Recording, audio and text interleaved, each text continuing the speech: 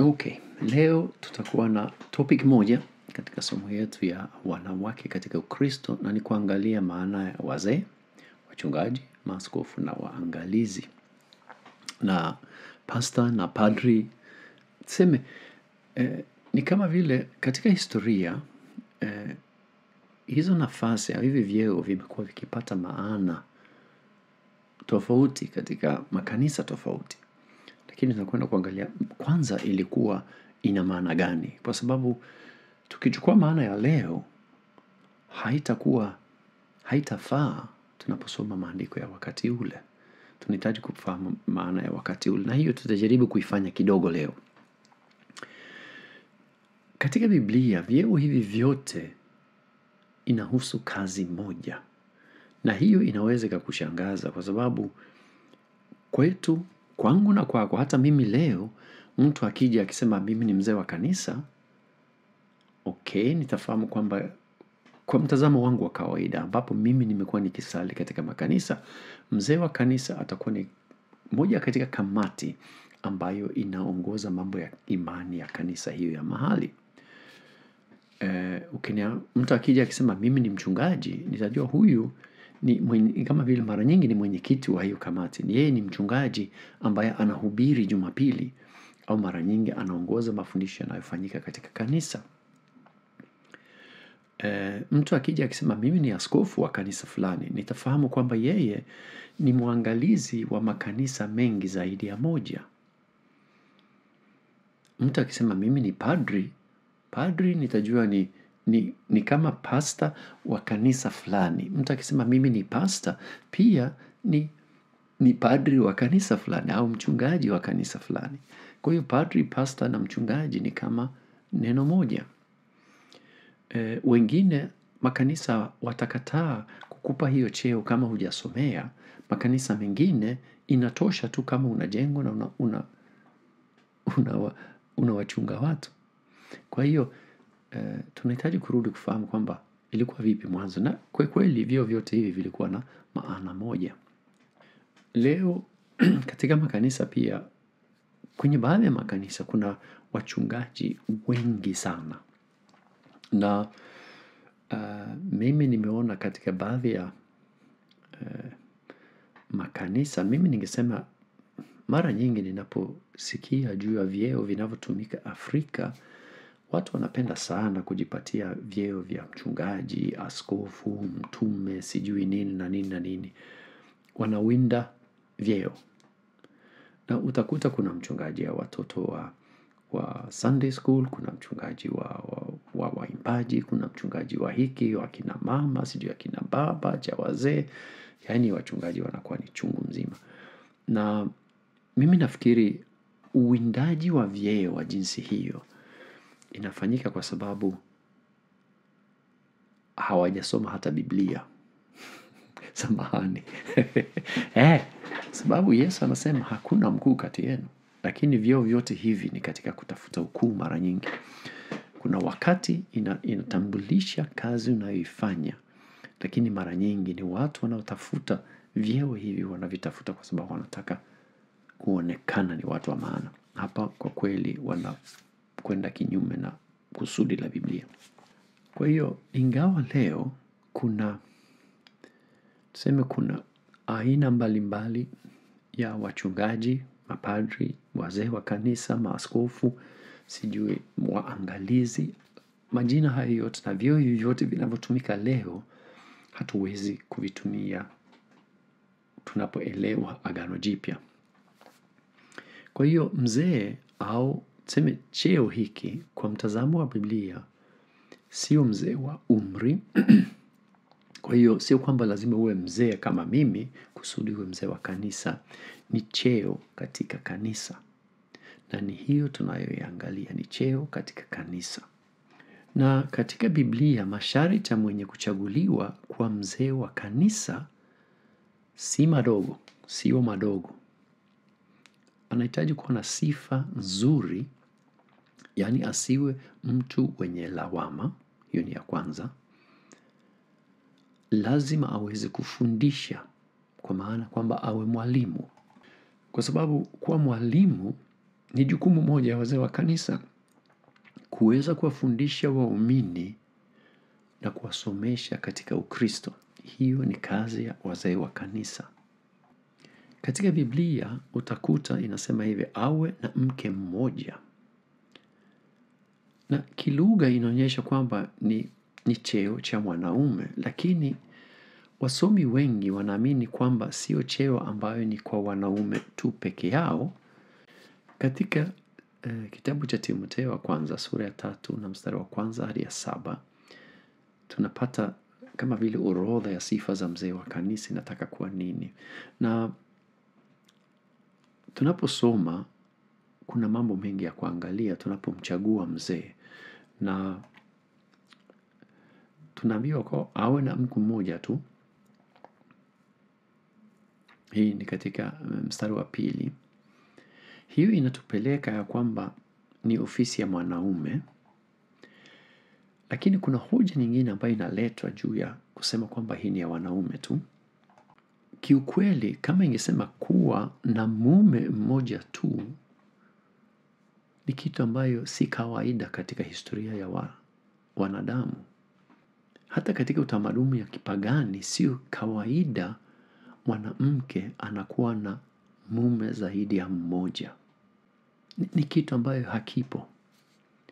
Kwa hiyo inawezekana hiyo ni sharti ambayo mwanamke asingehitaji hata kuisikia kwa sababu ni kama vile haipo. Hiyo ni hoja moja ambayo inaletwa eh, kusudi, yani tuseme kusudi ya kusema kwamba awe na mke mmoja tu ni kwa sababu wanaume waliweza au kikawaida waliweza kuwa na wanawake au mke zaidi ya mmoja, ambapo ukienda kwa mwanamke hiyo ni kitu ambayo hakipo.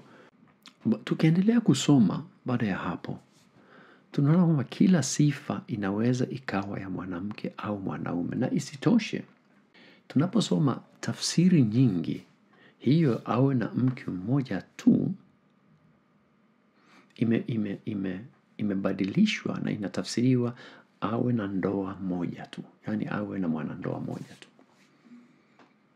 Kwa hiyo tafsiri hapo pia za Biblia zina zinapishana katika kuelewa na, uh, mstari huu. Uh, nitajaribu kupitia masharti yote mara moja kwa kifupi, tuangalie. Kwanza tunaambiwa kwamba asiwe na lawama, awe na mke mmoja tu, awe ameolewa au amekaa katika ndoa mmoja tu. Anakaa katika ndoa tu, hakuna seme, hana nyumba zaidi ya moja. Na kama nilivyosema, hiyo nafikiri ni sharti ambayo inaweza ikawahusu wanaume tu, kwa sababu haileti maana kumwambia mwanamke huwezi kuwa na wanaume wengi zaidi ya maana hapa ni mambo ya kuzini katika karibu tamaduni yote iliyopo duniani. Awe mwenye kiasi, awe na nidhamu na utaratibu, mkarimu na aweze kufundisha, asiwe mlevi au mtu wa matata, awe mpole, apende amani, asime mtu wa kupenda fedha, aweze kuongoza nyumba yake. Kuna sehemu katika eh, juu ya kuongoza nyumba yake, hapo utasema ah, awezi kuongoza nyumba yake, na hu, hiyo ni nafasi ya mwanaume. Katika Mithali tunasoma juu ya mwanamke mwema, na pale ni mwanamke ambaye anatunza nyumba yake vizuri, na bila shaka eh, mazoea yangu ni hivyo, lakini katika maisha yangu ni kwamba mara nyingi anayetunza nyumba ni mwanamke. Kwa hiyo eh, hiyo isingeondoa nafasi ya mwanamke katika kuweza kuwa mzee, kwa sababu tunaambiwa akishindwa nyumbani atashindwa na kanisa, na pia lazima awe amekomaa katika imani, kwa sababu kukomaa itamsaidia asije akajivuna. Na isitoshe anatakiwa awe na sifa hizo zote ndani ya kanisa, lakini sifa njema nje ya kanisa pia. Jamani, nafikiri hizo ni changamoto kwa mtu yoyote kutafuta uzee wa kanisa, na tukiwa wa kweli, wazee wengi na viongozi wengi wa makanisa yetu hawafikii hata nusu za masharti hayo. Hiyo ni mazoea yangu, kwa hiyo sio masharti mepesi. Hapo tunaona mgao mkubwa katika Wagalitarian na Wakomplementaria, na sijaona kwamba kuna, kuna suluhu kati ya misimamo miwili, kwa sababu wengine watashikilia kwa nguvu mwanamke inasema, inasema mwanaume awe na mke mmoja, kwa hiyo inawahusu wanaume tu, ambapo Mgalitarian anaweza akasema kwamba "Ah, ni kwa sababu haimhusu mwanamke, kwa sababu si kawaida yeye kuwa na mume zaidi ya mmoja. Nafikiri katika kesi hiyo tunahitaji kukubaliana kwamba hatutakubaliana.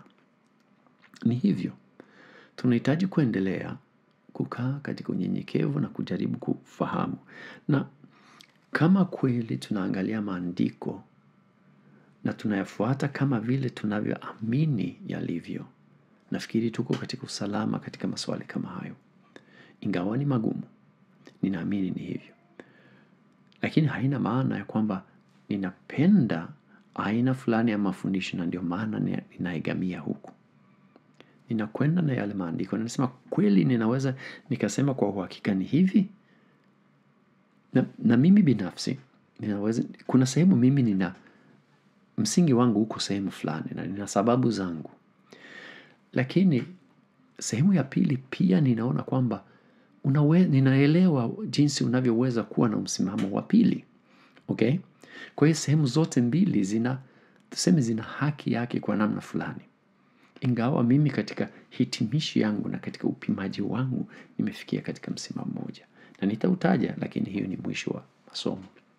Juu ya hayo yote ambayo tulisoma masharti ya kiongozi, kwa kifupi tunaweza tukasema hivyo: mtu anayeonyesha matunda ya kiroho anaweza akawa mzee wa kanisa na lazima aweze kufundisha pia. Kwa hiyo matunda ya kiroho aweze kufundisha. Si wote ambayo wanaweza kufundisha, si wote wanaoweza kufundisha. Tunapoendelea tutaangalia kidogo zaidi juu ya wanawake kama walimu.